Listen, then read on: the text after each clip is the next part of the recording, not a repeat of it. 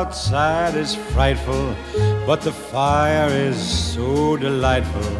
And since we've no place to go, let it snow, let it snow, let it snow. Man, it doesn't show signs of stopping. And I brought me some corn for popping. The lights are turned way down low. Let it snow, let it snow. When we finally kiss goodnight. Bună dimineața! E duminică. Am mai fost o tură până la Pepco. Ați văzut că am făcut ieri un hol de cumpărături cu produsele pe care le-am luat de la Pepco pentru bradul de Crăciun. Și acum am fost de a lua câteva jucării, că am zis să profit de, de oferta asta, că tot vine luna decembrie și am foarte multe cadouri de făcut. Și haideți să vă arăt ce, ce am luat. Am găsit acești roboți care mi s-au părut foarte interesanți. Nu știu acum dacă o să ai pe fiecare butonaj din ăsta cât o funcție sau sunt doar de formă, nu prea par a face nimic. Nu știu exact cum, uh, cum funcționează, dar văd că are sunete și că merge. Mati are deja un robot, e mult mai mare decât ăsta și mult mai performant. L-avem de vreo 3 ani, l-a primit de la Moș Crăciun. Dar uh, ăștia mi s-au părut interesanți și la un preț foarte bun. 75 uh, de lei. Am luat unul pe portocaliu și unul pe verde. Și am luat și acest uh, covoraj din ăla muzical. Cred că e din textil, din ceva... Mi-a plăcut că e destul de mare, 1,30 pe 48 de centimetri. Pentru bebeluș este acesta. L-am luat pentru finuțul meu. Are destul de multe funcții, cred că o să fie interesant pentru el. La un copil de 5 luni, nici 5 luni nu prea ai ce să-i faci, ce să iei. Ăsta a fost 85, ăștia au fost câte 75 de lei bucata și am plătit uh, practic decât doi din ăștia. De fapt am dat 160 de lei pe, da, 85 cu 75. Uh, un, un robot a fost gratis. S-a părut un preț foarte bun pentru, pentru ele. Mai am de luat cadouri, mai am pentru fetițe, era o grămadă de jucării și de fetiță doar că nu m-am hotărât încă ce să le iau. Uh, la băieții e mai simplu, nu prea ai multe variante, mașinuțe, roboți, de-astea. Oricum Mati are pe lista lui Moș Crăciun uh, seturi de Lego și altfel de jucării, nu din astea. La el e mai, mai complicat să vedem cum, uh, cum ne împărțim lista, dacă o să mai... De fapt o să le dăm și bunicilor, că ei tot timpul i-au luat cadouri și nu au comentat. Adică dacă Mati a cerut o jucărie de 500 de lei, jucărie de 500 de lei a adus moșul la, la ei și cumnata mea, sora soțului, tot la fel, i-a, luat tot timpul ce a cerut el. Uh, nu e că e un copil și se uită doar la jucării scumpe, el e, e pasionat de Lego acum și știți că seturile Lego sunt destul de scumpe. Dar acum să vedem, am uh, vorbit cu el să reducem din lista lui Moș Crăciun și să alegem câteva, câteva articole și să, să le împărțim între noi. Da, oricum, uh, mi se pare foarte bună uh, oferta asta de la Pepco cu 2 la preț, 3 uh, la preț de 2. Eu ieri mi-am cam luat țeapă că nu, nu am gândit-o cu decorațiunile. Trebuia să le pun separate pe bon, să le pun pe cele scumpe singure, gen la 16 lei să le las singure și cei la 10 lei să le las singure și cei mai ieftini tot la fel, pentru că eu am luat foarte multe și din toate mi le-au scăzut pe cele de 5 lei și de 7 lei 50 de pe bon.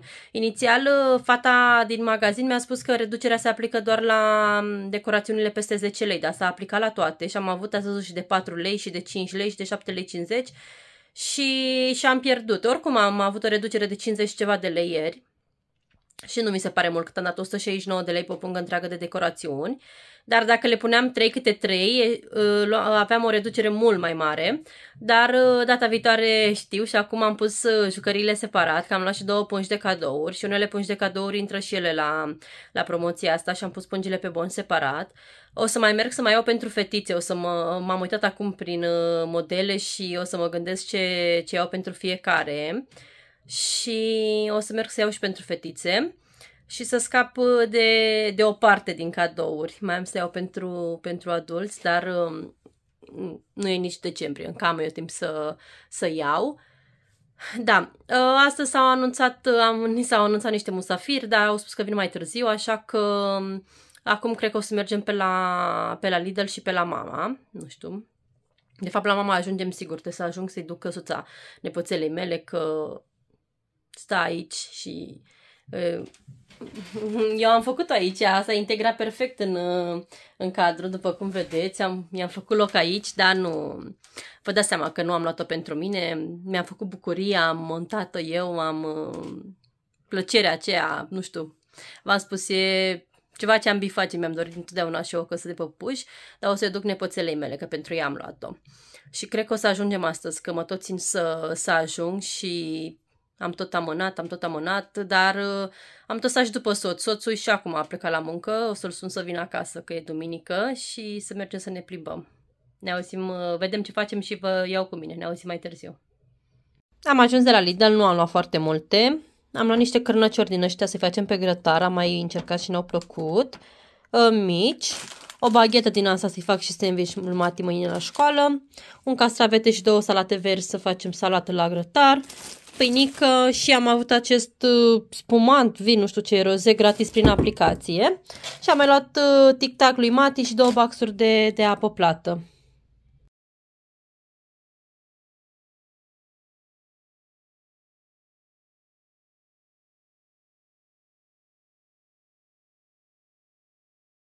A fost un copilaj la Mati și vreau să vă arăt cât dezastru au făcut. Deja am pus toate mașinuțele la loc. Îmi pare rău că n-am filmat de la început să fi văzut dezastru ce au putut să lase ăștia mici.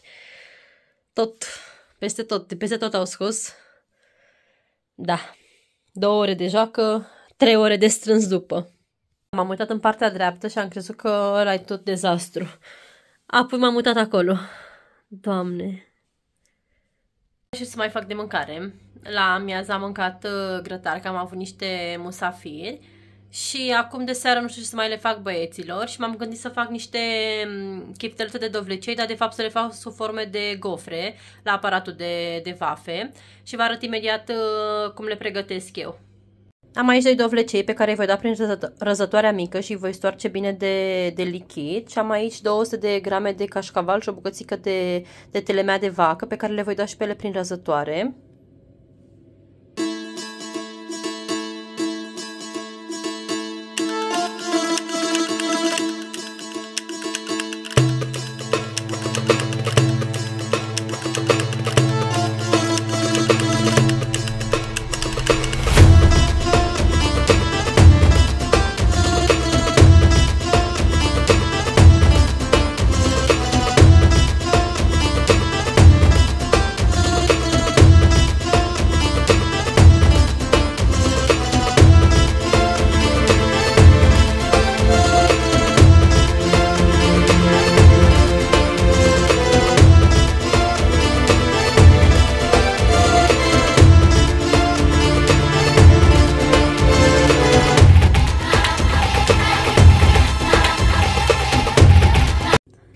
Cam asta este textura la care am ajuns. E o textură destul de fluidă, dar totodată groasă. Nu am folosit uh, toată brânza și tot cașcavalul pe care v-am arătat-o. Am ras decât jumătate din ele și nici pe acelea nu le-am folosit complet. Deci cam, uh, cam 50 de grame de cașcaval și 50 de grame de, de brânză telemea și nu am mai pus sare pentru că telemea e deja sărată.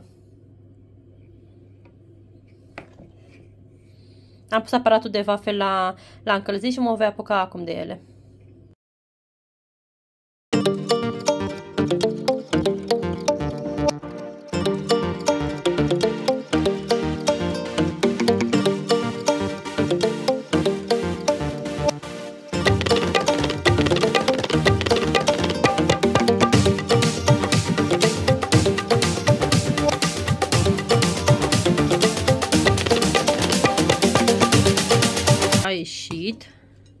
O las puțin să răcească, care cașcaval în compoziție și o să fie sigur super fierbinte în interior și o să vă arăt apoi cum arată și în interior.